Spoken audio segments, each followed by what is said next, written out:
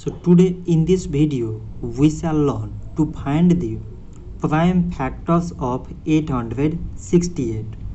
So at last it contain even number 8.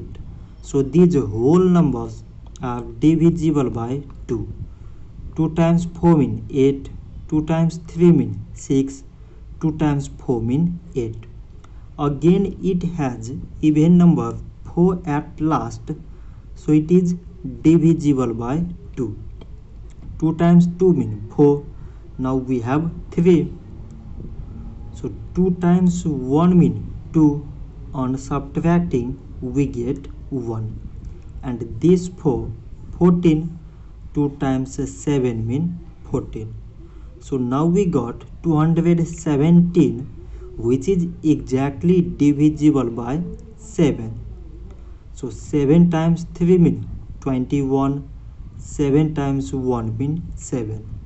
so now we got 31 which is a prime number.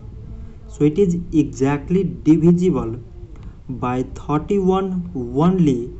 and on dividing we get 1 therefore 868